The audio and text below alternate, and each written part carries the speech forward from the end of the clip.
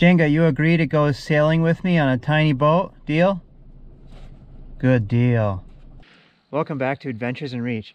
Today, my pup Jenga and I are going to be doing our first sunfish sailboat camping trip together. Uh, we're just going to do a quick overnight today and see how it works to have a dog in the boat.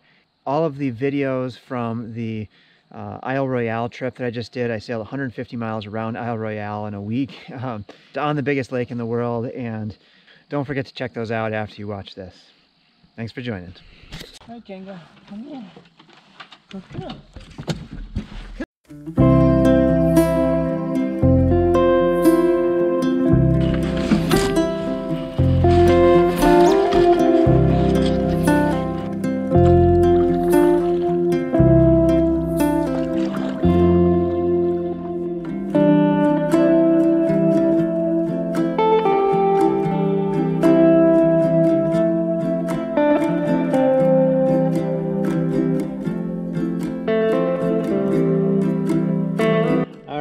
Jenga and I are cruising along slowly.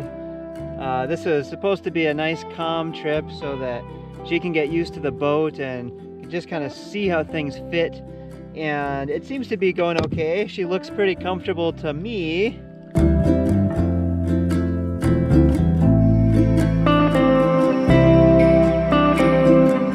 We don't have much wind. It's only about five miles an hour and that's okay.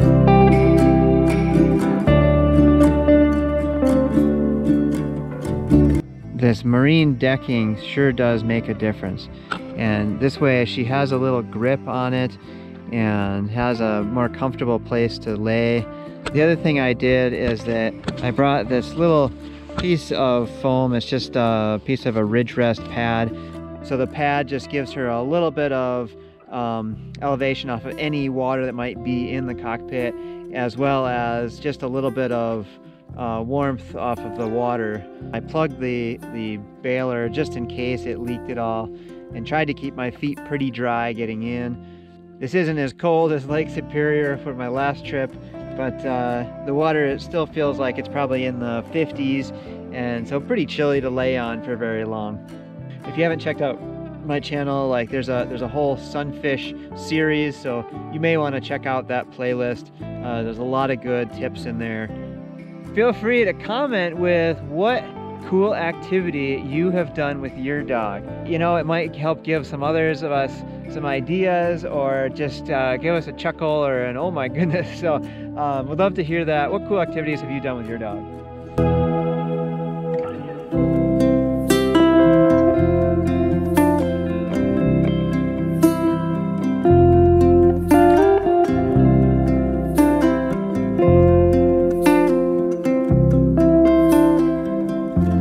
Wind seems to have kind of been blocked by this island, which is to be expected. Pad on over to camp. So the sun is setting behind me and you know, I just want to remind you that you can do an overnight trip in 24 hours. I mean, I've only been out here for maybe an hour and already just the pace of life seems to slow down, you know?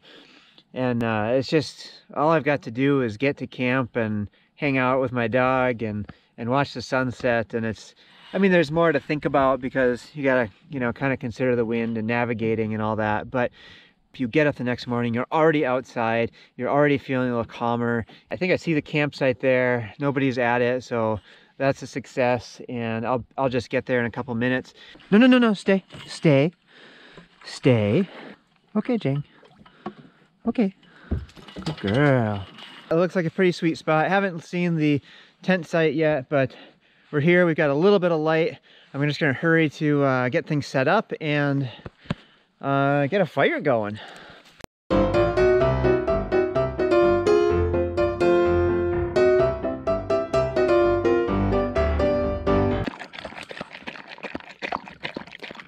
Now the potato I brought had a big hole in it. it was kind of rotted. But I had a package of frozen asparagus that I brought because I'm only out here for 24 hours, which is kind of the beauty of that. Cut up some onion, and I'm gonna kind of seal this up and heat it up in the fire.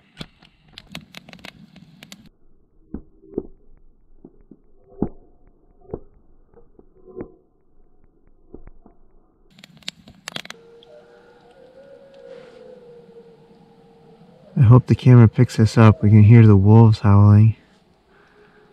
She's pretty alert.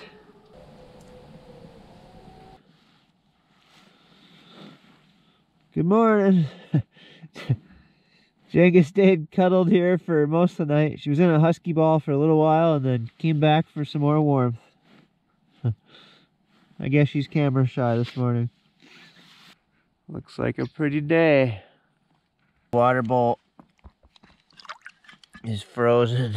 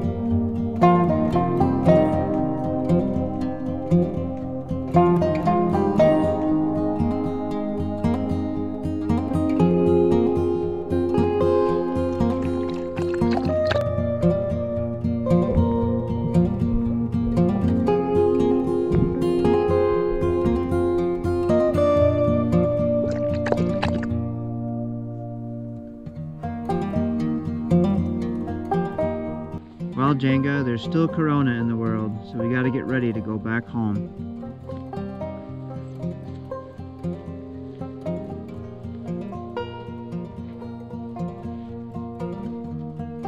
Good girl.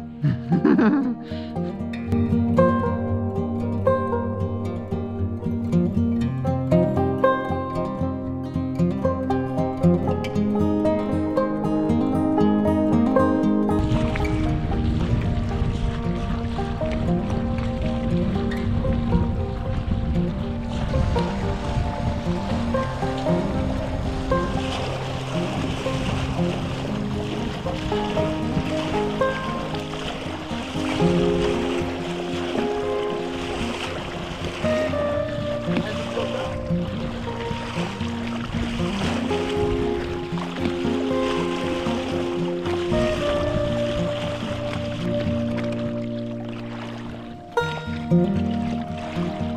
-hmm. you